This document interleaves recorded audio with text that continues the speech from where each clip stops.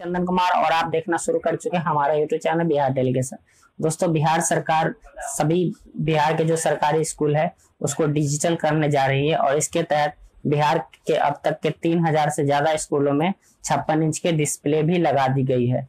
दूसरी बड़ी खबर यह है कि अनंत सिंह, जो कि ए के फोर्टी सेवन रखने के मामले में जेल में है, उन्होंने पुलिस द्वारा पूछे गए सवाल पे क्या जवाब दिया है? इन सभी बातों पे हम वीडियो में बात करेंगे तो जानने के लिए देख लेते हैं आज का मुख्य समाचार। सरकार राज्य के सभी उच्च और उच्चतर विद्यालय को डिजिटल करने जा रही है। अब तक 4500 से अधिक विद्यालयों में छप्पन इंच की टीवी स्क्रीन भी लगा दी गई है।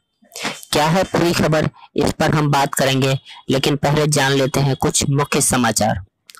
बाहुबली विधायक अनंत सिंह द्वारा ए के फोर्टी सेवन लहराने वाले वीडियो के ऊपर जवाब आया है कि वीडियो में तो मैं ही हूँ, लेकिन जो बंदूक थी वो प्लास्टिक की थी।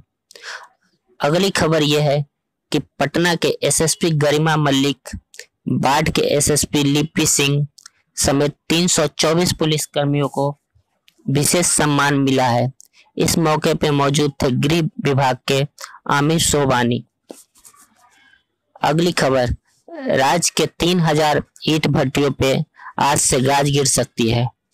बिहार राज्य प्रदूषण नियंत्रण परिषद के जिग जैग तकनीकी का इन भट्टियों द्वारा नहीं किया गया था पालन। इस तकनीकी को अपनाने के लिए इन्हें 31 अगस्त तक का समय दिया गया था। जिसे कि सिर्फ़ तीन हज़ार ईट भट्टियों के मालिक ने ही अपनाया। अगली खबर की तरफ़ बात करते हैं तो मुख्यमंत्री नीतीश कुमार रविवार को विष्णुपद मंदिर पहुँचे थे। वहाँ उन्होंने भगवान के गर्भ में माथा टेका और किसानों के लिए फ़सल चक्र योजना के ऊपर बोले। आगामी विधानसभा को देखते हुए बिहार के सड़कों पे नीतीश कुमार की पार्टी जेडीयू का नया पोस्टर टंग गया है। पोस्टर पे बिहारी भाषा में लिखा हुआ है, क्यों करे विचार? ठीक तो है नीतीश कुमार।